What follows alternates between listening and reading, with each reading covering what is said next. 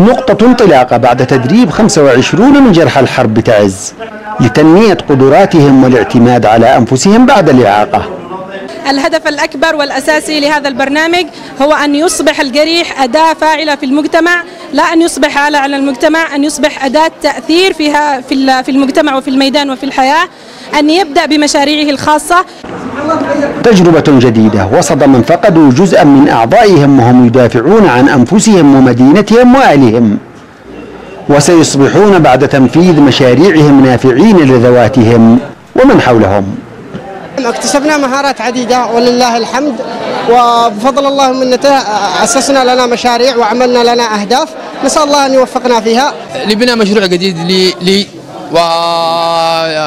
وعملنا دراسة المشروع الذي ببدأه إن شاء الله. وإن شاء الله ببدأه بعد على الخطة اللي رسم لها الحين هي الأستاذ مهيوب المخلافي. إن شاء الله. كثيرا من المقاتلين والمدنيين أصبحوا معاقين نتيجة الحرب والاستهداف. وما زالوا في عز شبابهم وقادرين على العطاء. ولا يحتاجون إلا إلى التأهيل النفسي والمهني ليصبحوا منتجين وسيتحدون المستحيل.